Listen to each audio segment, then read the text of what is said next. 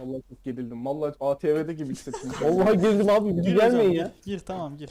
Önemli değil. Ben Bilmem Hocam Bilir programına hoş geldiniz arkadaşlar.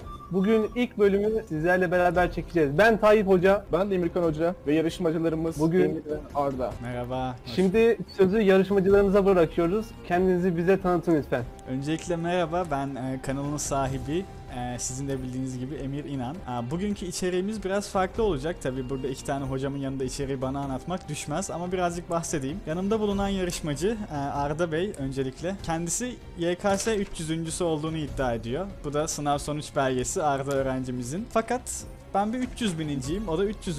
Bugün bir genel kültür sınavına sokacak hocalarımız bizi. Bakalım kim kazanacak? 300. olmak her şeyi değiştiriyor mu?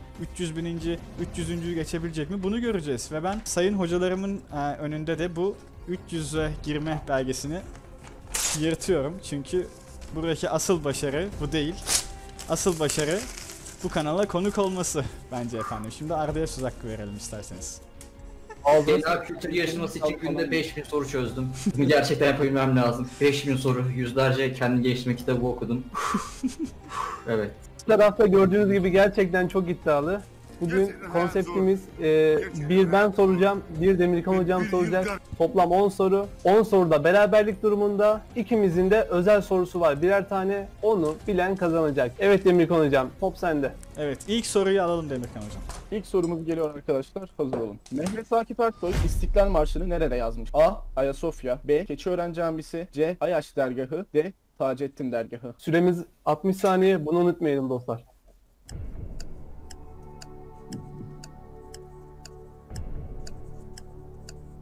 Taraf hazır olduğunda kağıtları kaldırabilir. Hazırım. Ben Arda kağıtları kaldırabilirsiniz. Taceddin dergahı. Evet iki tarafın da şıkkı doğru. İki tarafta Taceddin Dergahı demiş. Doğru cevap. Evet şu anda. Buradan Gerçekten Tebrik tebrik ediyoruz. Gerçekten tebrik ediyoruz. Tayyip İlk hocam soruya güzel bir başlangıç yaptı ikisi de. O zaman hız kesmeden ikinci soruya geçelim lütfen. Türkiye'de aşağıdaki göllerden hangisi su ürünleri üretimi bakımından daha önemli bir paya sahiptir? A. Van B. Çıldır C. Eğirdir D. Abant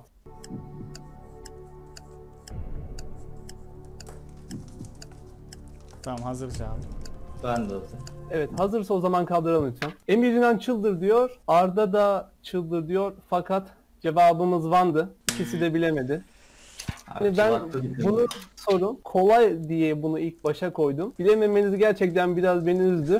Umarım diğer soruları yaparsınız. Topu. Demirkan hocama bırakıyorum. Evet hocam. İkinci soruma yani üçüncü soruya geçiyorum. Arkadaşlar hazır mısınız? Hazırız efendim. Sorum geliyor. Dünya tek bir devlet olsa başkenti İstanbul olurdu diyen komutan kimdir? A. Napolyon B. Kral Edward C. Atatürk D. Hitler. Süremiz 60 saniye. İki kişi arasındayım.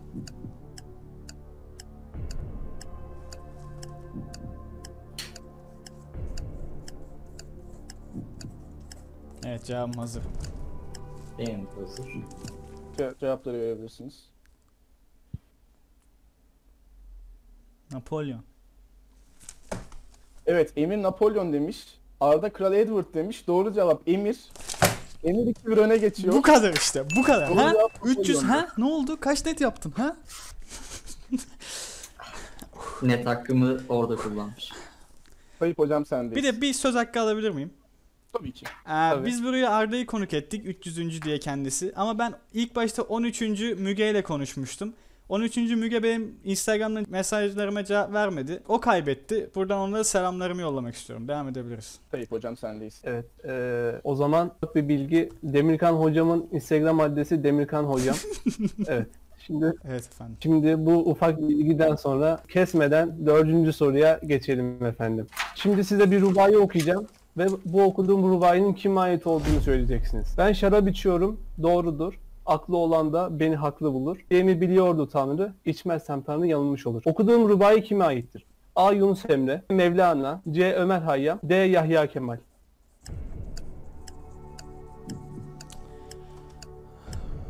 Evet cevabım hazır.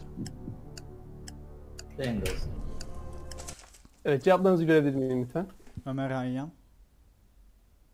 Yahya Kemal. Evet, eee, Arda yanıldı. Ve Ömer Hayyam doğru cevaptı. 3-1 Emir Yunan öne geçiyor. Evet Arda bence burada sana oldu? söz hakkı doğuyor. AYT kaç net? Cevaplıyor muyum? Arkadaşlar puan durumu Emir 3 puanda, Arda 1 puanda. Evet. Hangi tarihte Güney Yarımküre- kürede en uzun gündüz yaşanır?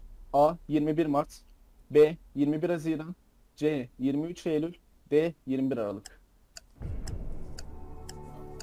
En uzun gündüz. Güney Yarımküre'de en uzun gündüz. Aa. Tamam. Hazırsanız alalım. 21 Mart. Evet. Tamam dur. sen alıyorum. 21 Mart. Evet 21 Mart. Arda da D 21 Aralık demiş. Arda doğru cevabı veriyor bu sefer. Arda puanını 2'ye çıkardı. Emir hala 3 puanlı. Ve bu konuyla ilgili benim çok komik bir fıkram var. Onu da lütfen söylemek istiyorum. Öğretmeni Temel'e sordu. Söyle bakalım Temel. Amerika'da saatler Avrupa'ya göre neden 5 saat geridir? Temel cevabı bilmese de yine hazır cevaplığını konuşturur. Amerika daha geç keşfedildi da ondan öğretmenim. Teşekkür ederim. Çok ayıp hocam da. Evet. Evet hocam bu güzel e, fıkra da tam olarak nerede güleceğimizi unutmasak da motivasyonla bu eğlenceyle önümüz soruya geçelim arkadaşlar. E, bu diyeceğimi iyi dinleyin. Anlamaya dayalı bir e, soru. Her poli bir folidir ama en az bir foli vardır ki poli değildir diyen bir kişi doğru diyor ise aşağıdaki ifadelerden hangisi doğrudur? Az bir poli foli değildir. Her foli bir polidir. D Pardon C. Eğer bir şey poli değilse foli de değildir. E. Foli olmayan poli yoktur.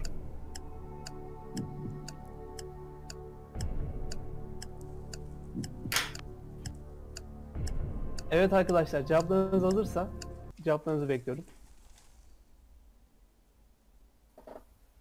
Evet Emir demiş ki en az bir poli foli değildir demiş. Da senin cevabını göremedim.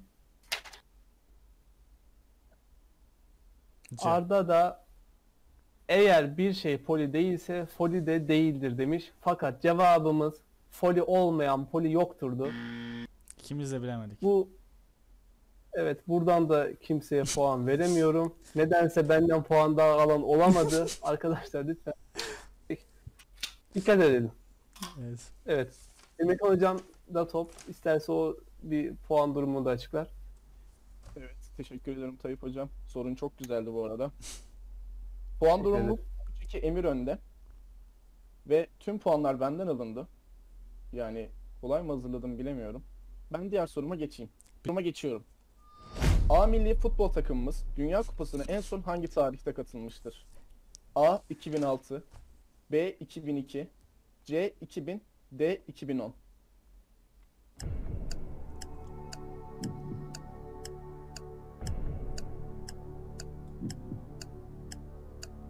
Hazır olduğunda söyleyin lütfen. Yani iki şık arasında kaldım. 2006'da Çin'le maç yaptığını hatırlıyorum.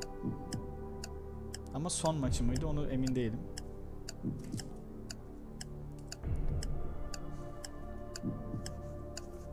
Evet hazır. Evet Emir 2010 şıkkını vermiş. Arda da 2010 şıkkını vermiş. Bu soruda iki tarafa da puan gitmiyor çünkü cevap 2002 idi. 2006'da hatırladığım maç şu an. Yani iki tarafa da puan gitmiyor. 2006'da Çin'de hangi maçı hatırlıyorsun bilmiyorum. Bilmiyorum neyse. Evet. Top Tayyip hocamda. Hocam tam da bu soruyla alakalı aklıma şu an bir fıkra geldi. Tam ikisinin de yarışmacımızın yaşadığı bir olay gibi. Şimdi böyle 1.60 boylarında 50 60 kiloda bir adam böyle bir gün hapse düşmüş. O da arkadaşı da böyle 2 metre 130 kilo falan böyle iri yarı bir adammış. O iri yarı adam demiş ki kardeş demiş hayırdır niye düştün buralara demiş. O küçük olan adam da demiş ki ya eşimi öldürdüm. Her gün aynı odada olmaktan sıkıldım demiş. Ne oldu anlamadım. Yıllardır aynı odada yaşamaktan bıktım ondan Evet diyor. hocam soruya geçelim. Anlamadınız mı? Neyse sağlık olsun. Güzeldi ya. Evet hocam o zaman ikinizin de bilmesini umut ettiğim kolay bir soru sormak istiyorum. Artık puan alın. 2010-2011 Türkiye Süper Lig şampiyonu kimdir? A. Trabzonspor B. Galatasaray C. Fenerbahçe D. Samsunspor Süper Lig şampiyonu.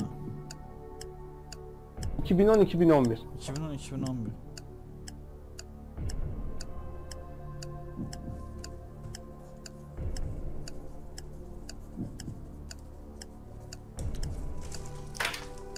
Gösterelim. Evet, e, cevaplarınız hazırsa cevaplarınızı gösterin lütfen. Emir Fenerbahçe demiş. Arda Galatasaray demiş. Doğru cevap Fenerbahçe ile Emir bir puan daha aldı. Bu. Evet Emir hocam. Kaç puan durumunu söyleyin. Emir, Emir 4-2 öne geçiyor. Şaşırtıcı bir puan durumu. Bu bu yıl peki şey değil mi? Trabzonspor çupamuzu verin dediği yıl mı? Evet. buradan da tüm evet. Trabzonlulara selamlar. Evet bu soruyu özellikle koydum. tamam. Bu, bu arada Belki arkadaşlar e, karmaşa, karışıklık, yorumlarda kızışma, kavga trendler efendim. İyi güzel çok iyi. inşallah inşallah inşallah. Bu arada hiçbir türlü Emir'e sorular verilmemiştir. Bunda kesinlikle şüpheniz Yani olmasın. şüphesi olan olacak ama yani gerçekten ben kendim bizzat dedim adaletli olsun hiçbir soruyu almayacağım diye. Sadece Tayyip'le biz aramızda tartıştık. Evet. Bu kadar. Tayyip hocamla. Ben yeni soruma. Evet. Bu arada benim 5. soruma. Bu arada evet onu hatırlatalım. 8 soru sorduk toplamda. 2 soruları kaldı. Yani Evet. Emir'in hiç bilemeyip Arda'nın hepsini bilmesi gerekir Evet Arda. ki uzatmalara gitsin diye. Evet. Sorum geliyor. Evet Emir. Hazırsanız soruyorum. Türkiye'nin en büyük kış ve doğa sporları merkezi olan Uludağ'ın eski adı nedir? A. Keşiş Dağı B. Ulu Kuş Dağı C. Buzdağ D. Yeşildağ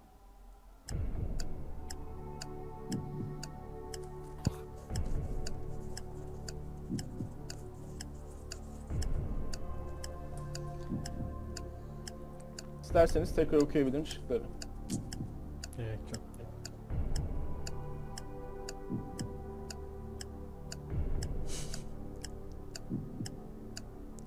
Arda daha çiziyor galiba.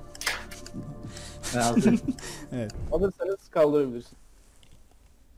Emir ne yazdığını... Keşiş Dağı Bilmiyorum. yazdım. Emir Keşiş Dağı yazdı. Arda C şıkkı yani Buzdağ dedi ve doğru cevap Keşiş Dağı. Şıkkı kazanıyor. Yani biz de beklemiyorduk. Hani bu Biliyorum. en zor sorumdu. En zor sorum. Emir bilemez diye sordum. Belki Arda bilir eski mitoloji tarihi falan. Şey Bugünün dedi. geleceğini en başından beri biliyordum. Hocam da çok şaşırtılıyız yani. Gerçekten çok şaşırdım ben. Yani tebrik Yani-. Şu an bir sorumuz var. Lewandowski, Lewandowski. Evet. Sorun efendim, sorun. Buyurun ben sizi bölmeyeyim. Evet son sorumuz formalite icabı olsa da biz yerine getirelim efendim. Evet. Yüzüklerin Efendisi filminin yönetmeni kimdir? A. Peter Jackson B. Chris Columbus C. Katerina Hertwig E. Nuri Bilge Ceylan Hayır bir dakika cevabımı değiştirmek istiyorum.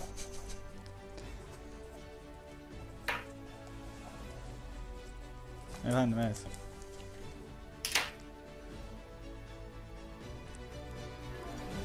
Evet Emir Nuri Bilge Ceylan demiş. Arda doğru cevap A şıkkı Peter Jackson demiş. Bu da Arda kardeşime Arda avans olsun. Arda'ya de bu puan Arda'ya gitse de Emir Nuri Bilge Ceylan diyerek gönderimizi kazandı tekrardan. Evet arkadaşlar. eee, teşekkür ederim beni bu yarışmaya kabul ettiğiniz için önceki jürilerim. Bugün neyi görmüş olduk?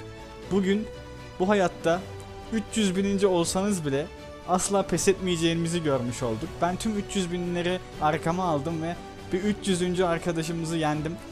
Yani gurur duyuyorum ve bu başarımı Lewandowski'ye borçluyum. Size çok teşekkür ediyorum tekrar. Biz teşekkür ederiz. Aynı şekilde Lewandowski de diyor ki bu başarılarımı Emir İnan'a borçluyum diyor. Teşekkür Onu ederim. unutmayalım. Evet Arda'nın da bir görüşlerini alalım yarışmaya ilgili lütfen.